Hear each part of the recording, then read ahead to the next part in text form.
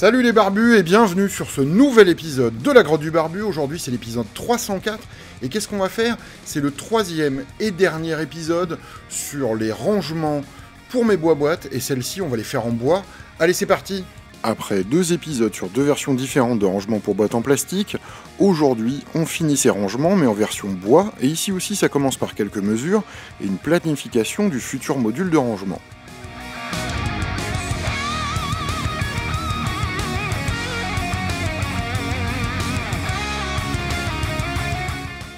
Le plan ici est donc de fabriquer deux rangements de 16 boîtes, le tout avec des matériaux récupérés.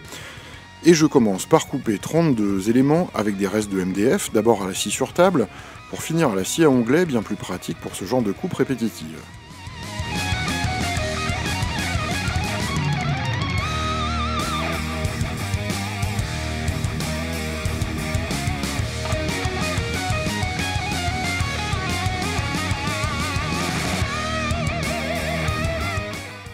Ces éléments vont permettre aux boîtes de se reposer, donc pour un assemblage plus aisé, je perce des trous avec l'Undercover Jig de chez Wolfcraft.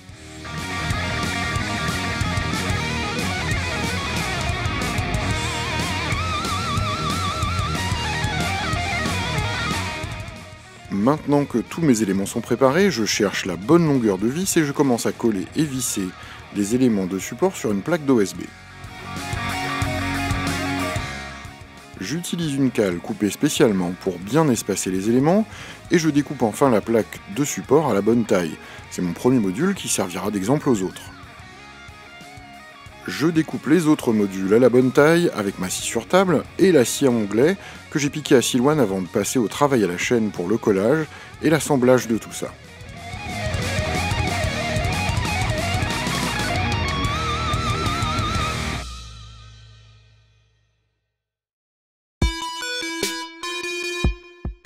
Le but ici est d'avoir 5 modules, dont 3 double face qui vont permettre de supporter les 16 boîtes en plastique où je range tout mon merdier.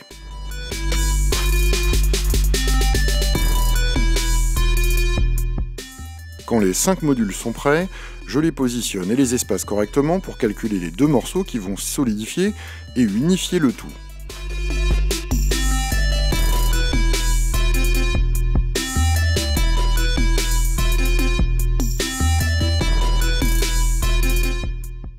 Je préperce les deux morceaux, les mets en place et les visse avant de visser mon nouveau rangement au mur.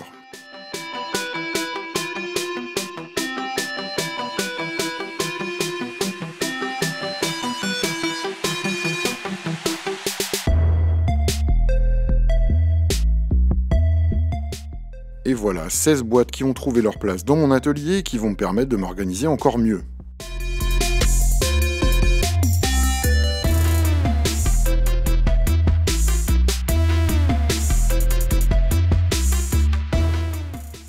Va nous rester un dernier module à fabriquer, mais avant ça, j'ai démonté mes rangements de mon premier épisode pour tenter de les monter les plus droits possibles sur des planches sacrificielles.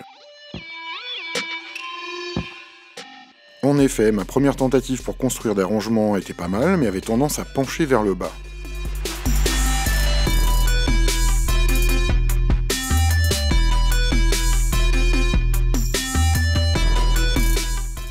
Quatre planches, 4 vis et pif paf pouf, voilà mes rangements V1 en place.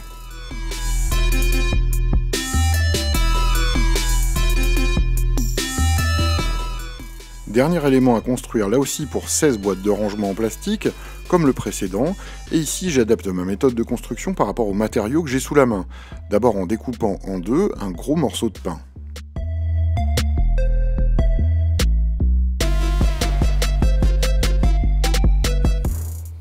Direction l'acier onglet pour découper 32 morceaux qui vont servir de support à mes caisses en plastique.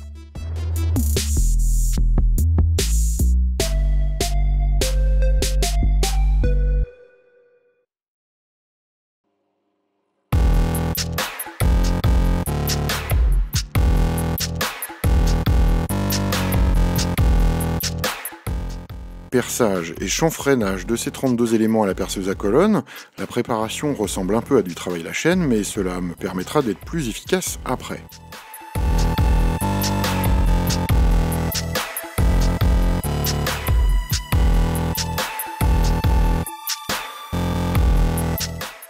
Puis premier assemblage avec colle et vis et toujours l'utilisation de mon super gabarit.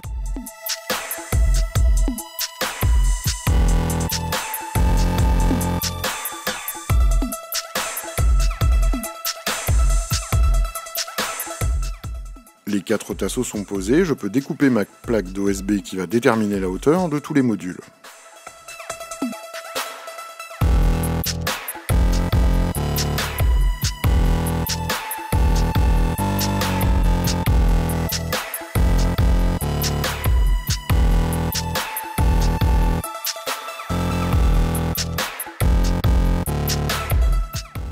Et bis repetita pour les autres modules. Vous avez compris le principe depuis le temps, j'en suis sûr.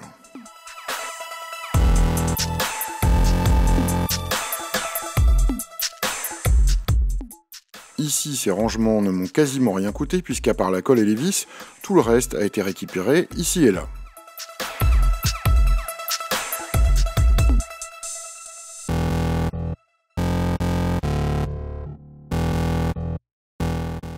Comme pour le rangement précédent, je mets en place les modules, les espaces, puis fixe les éléments qui les relient les uns aux autres.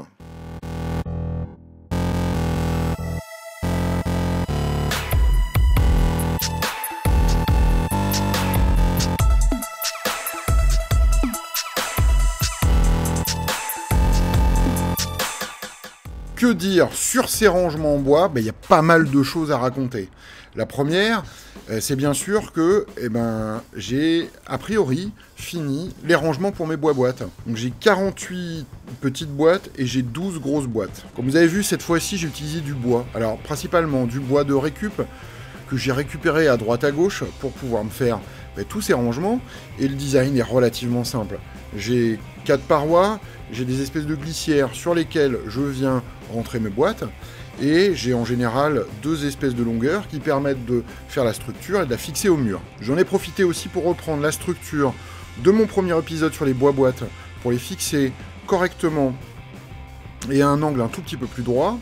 Et surtout, ça m'a permis de les réorganiser et de pouvoir tous les mettre sur le mur. Globalement, ben, il est vrai que je suis plus à l'aise avec le bois qu'avec le métal. Et le temps que m'a pris euh, tout cet épisode, c'est à peu près le tiers de ce que m'a pris euh, le premier épisode sur le métal. Pourquoi? Euh, ben, Le bois, je suis beaucoup plus habitué, ça se coupe beaucoup plus facilement, ça s'assemble aussi beaucoup plus facilement, avec de la colle et des vis ici, et surtout c'est un peu plus économique. Ça n'empêche que le métal, j'adore quand même ça, et je vais continuer à faire des épisodes où je vais faire des trucs avec du métal, vous inquiétez pas, mais c'est vrai que le bois c'est beaucoup plus simple.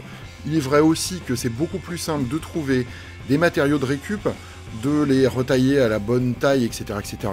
J'ai la chance d'avoir mon atelier à la Padaf où il y a justement une aire de récupération, de recyclage de dons. Je suis allé piocher de l'OSB, du MDF, etc., etc. pour me faire tous ces rangements. Et ça m'a pris pas... Ça m'a pris quoi? Allez, 2-3 heures grand max pour faire les deux rangements et la modification du premier. Alors le gros défaut du bois, c'est que c'est beaucoup plus lourd que le métal. Pour une structure équivalente, je pense que la structure devait peser 10-15 kg, alors que la structure équivalente pour le métal, bah, je sais pas, ça avait peut-être 5 kg, grand max.